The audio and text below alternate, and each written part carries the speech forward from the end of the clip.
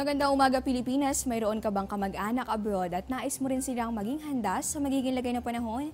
Kaugnay po niya narito ang forecast ng pag-asa para po yan dito sa mga ASEAN at sa mga Asian cities. So kabilang po dyan itong Indonesia at Cambodia kung saan inaasahan natin magpapakita naman si Haring Araw sa mga susunod na oras. Maulang panahon sa Thailand, Malaysia at sa Singapore.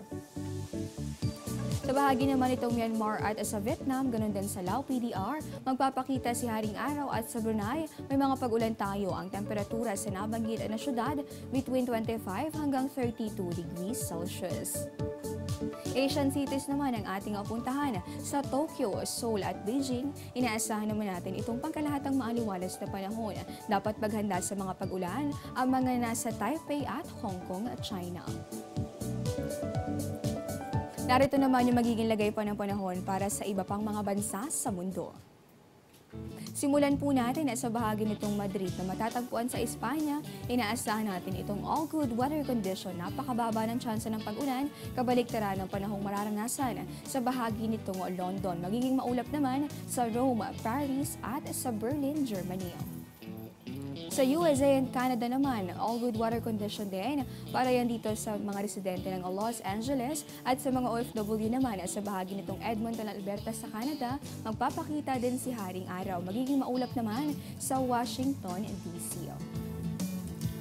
Australia at New Zealand naman tayo, generally fair weather conditions sa Melbourne at sa Canberra, Australia, habang mas maulang panahon sa Wellington at sa Auckland.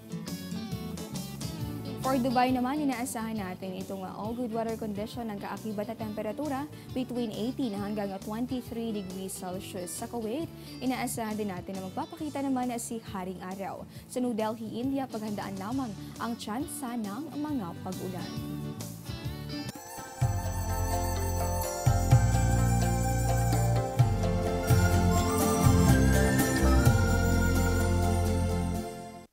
Pangarap mo bang mag-scuba diving o sumisid sa karagatan?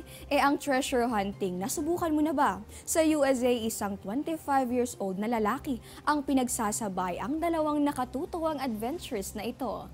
Kilalanin si Jake Kohler na ginawa ng full-time job ang pagsisid sa dagat. Kabilang sa mga nakukuha niya, ang GoPros, patalim at baril na siya namang ibinabalik niya sa mga may-ari.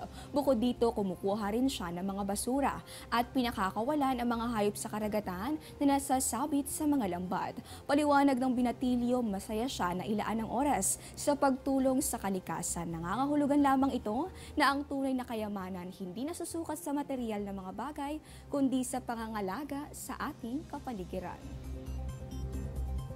Diyan lamang po kayo, magbabalik pa ang Panahon TV.